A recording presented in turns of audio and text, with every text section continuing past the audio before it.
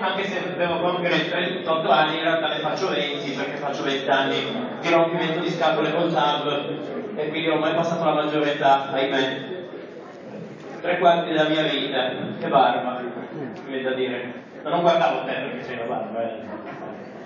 Vabbè, adesso partiamo un po' di dati. Intanto voglio iniziare con un minimo di speranza. In contemporanea con la riunione di stasera a Ponte Decimo c'è un'altra riunione popolare informativa nei confronti delle devastazioni che la TAV produrrà, perché come giustamente si è detto non è soltanto una questione locale, ma del resto, francamente, che la facciano a Ponte Decimo, che la facciano da Ulan Bator a Kiev, poco importa, il problema è il modello di sviluppo in sé.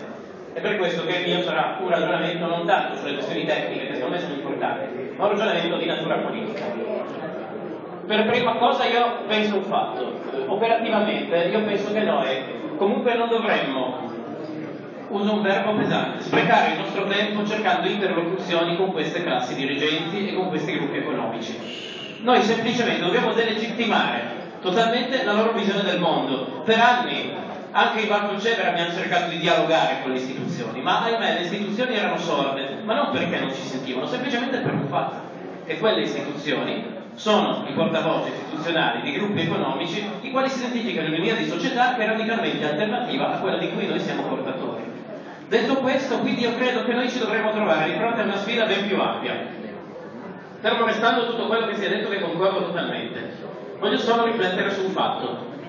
Noi siamo in una fase storica in cui l'egemonia economica del capitalismo è a livello più basso. La crisi economica ci sta dimostrando che il capitalismo non ha soltanto una contraddizione rispetto al lavoro, ma ha una contraddizione rispetto a una cosa che si chiama seconda legge della termodinamica, da cui non sfuggono neanche loro signori ma paradossalmente abbiamo una discrepanza gigantesca, perché di fronte al massimo di crisi del sistema capitalistico abbiamo anche il massimo, ahimè, di consenso al sistema medesimo.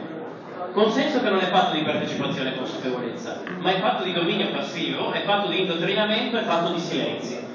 Qualcuno ha detto giustamente che qui purtroppo c'è tanta gente, ma in realtà ce n'è poca, perché dovremmo avere i paesi pieni, dovremmo avere una mobilitazione territoriale amplissima, proprio per dimostrare che c'è la coscienza. Quindi io penso che la nostra sfida oggi sia fondamentalmente una sfida per creare una nuova egemonia culturale intorno alle nostre istanze, non perché noi siamo il Vangelo, ma semplicemente perché a differenza degli altri noi siamo i saperi critici, cioè noi vagliamo i nostri essiomi in base dei dati, al contrario di quello che fanno loro che invece fanno degli atti di fede. Rispetto, vi racconto un aneddoto ridicolo, mi ha fatto un po' ridere, la settimana scorsa un dibattito a una scuola, un docente universitario del Politecnico di Torino, pur non presente, mi ha dato un contributo scritto dicendo ma in effetti sui dati tecnici avete ragione voi, ma vedrete che domani avremo ragione noi. E a me, ricordo, io purtroppo non era presente quella persona, ma ho controbattuto dicendo che evidentemente gli economisti sono diventati teologi, visto che stanno facendo atti di fede rispetto agli assiomi di fronte ai quali non c'è una dimostrazione pratica. Detto questo, chiudo con una suggestione. Io credo che oggi il movimento cosiddetto NOTAP viene da ridere perché nel 2001 no Global, adesso NOTAP, sembrano qualcosa, in realtà siamo dei movimenti costituenti.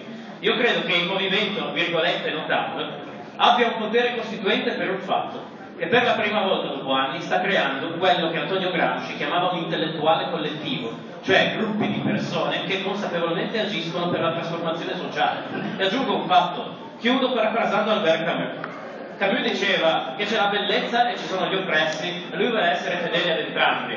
Ebbene, io credo che la nostra battaglia a difesa della bellezza, a difesa del territorio, essendo anche una battaglia a difesa degli oppressi che subiscono le contraddizioni del capitalismo, sia dal punto di vista economico che dal punto di vista territoriale, sia una battaglia che congiungendo entrambi gli assi ci dia la risultante di quella che deve essere la società di domani.